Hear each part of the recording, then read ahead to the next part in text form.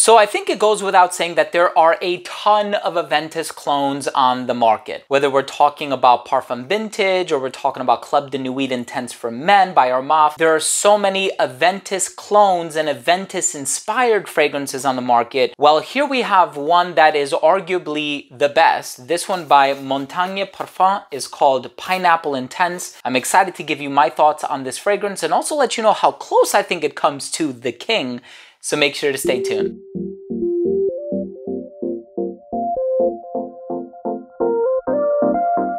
Now, before I begin my fragrance review of Pineapple Intense by Montagne Parfum, and I tell you all about this fragrance, the smell, the longevity, the performance, the closeness to Creed Aventus, I do want to start things off by mentioning that if you're a fan of fragrance-related content, please do consider supporting the channel by subscribing to it.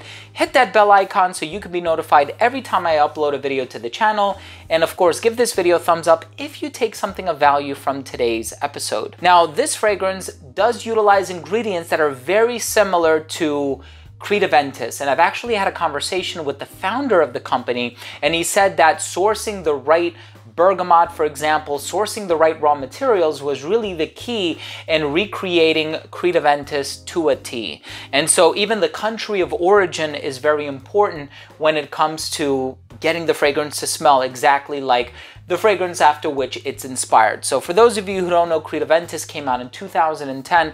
Super popular fragrance release from the House of Creed. Very expensive. I think it's like $450 for a 3.4 ounce bottle. It contains pineapple, apple, bergamot, jasmine, birch tar, cedarwood, ambergris, so on and so forth. So I'm going to be giving you my thoughts on the smell. I'll let you know how similar I think it is to Creed Aventus and also let you know which batch of Creed Aventus I think it's similar to. Some are fruity, some are smoky, but let's go ahead and start things off with the presentation.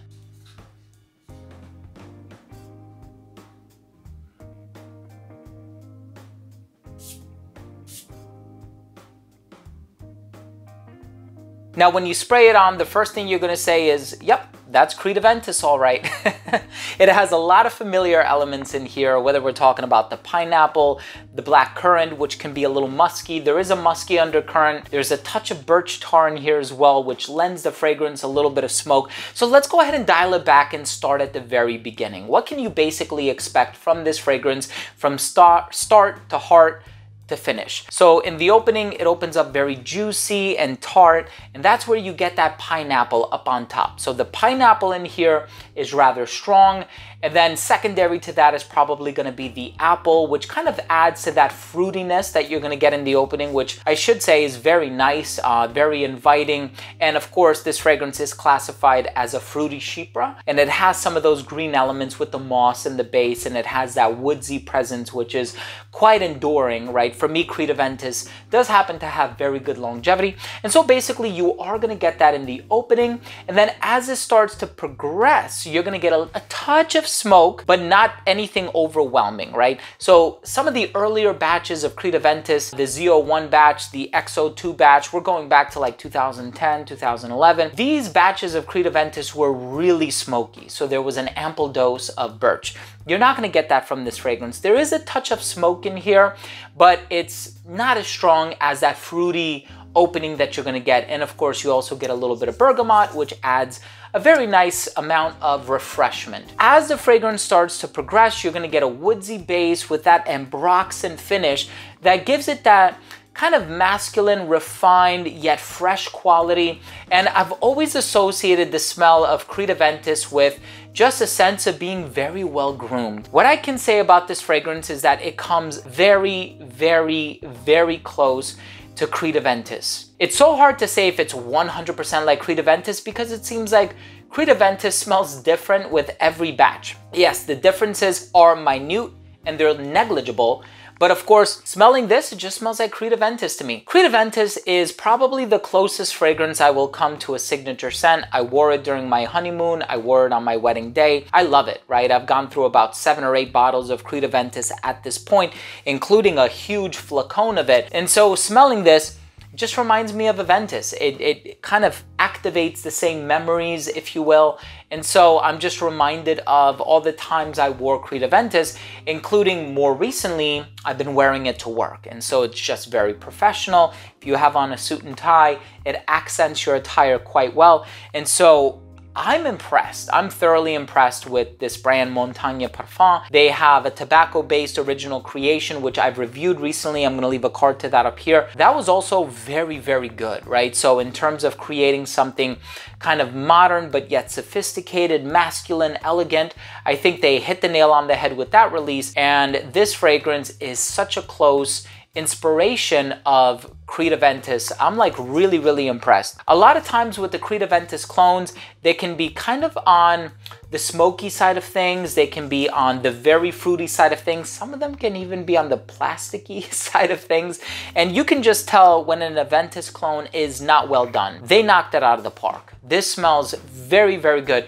And I think it also matches Creed Aventus in terms of the longevity. The one thing that I would bear in mind though is that I would say it probably is leaning a little bit closer to the more modern batches of Creed Aventus because you also do get that touch of vanilla in the base. Again, not overly sweet, not overly strong, doesn't steal the spotlight from the bergamot, the pineapple, and that touch of birch that you're gonna get in there as well, but very well done. I think they did a very good job with this one. Let's go ahead and finish things off with my overall assessment. Now first, in terms of the uniqueness and the overall smell, it's not a unique fragrance, right? It's a clone, but the overall smell is one of the best in my opinion. I love the smell of Creed Aventus. I know people have said it's like catnip for men, but it also happens to be one of my most complimented fragrances for women as well. And so I personally love wearing Creed Aventus. It is my most complimented. I always get a lot of really kind and positive remarks when I wear it. Overall smell is exceptional. Longevity, eight to 10 hours, which is very good.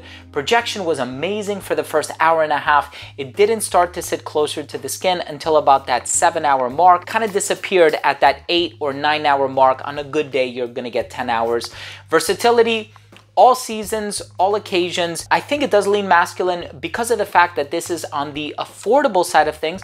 You can wear this one casually in addition to formally. And I do think it has this very sophisticated, youthful, and professional vibe about it. And in terms of the presentation, I do think it resembles Le Labo in a way. Dossier boxes are also very similar to this. And so Personally, I think it's cool as long as it keeps the costs low and it kind of satisfies that audience that is looking for that niche smell, but is not willing to shell out three, four, five hundred dollars. I can sympathize with that. My final verdict on this fragrance is it's one of the best Aventus clones on the market. The more I smell this fragrance, the less and less I'm inclined to wear other clones and perhaps I'll do a comparison video in the future, top 10 fragrances that smell like Creed Aventus. I know I've done a lot of those in the past and so perhaps I'll do another one in the future if there's demand for it. But I do want to thank you for taking your time to watch this video. I hope you enjoyed this review. I hope you took something of value from this video. That was my review of Pineapple Intense by Montagne Parfum and it even says 2016 vintage here on the front so perhaps that is the batch that they were aiming to recreate but does smell like one of the more modern batches. If you enjoyed this video please do consider supporting the channel by subscribing to it. Please would mean a lot to me. Hit the bell give it a thumbs up if you enjoyed it. Love you guys. We'll see you tomorrow. Bye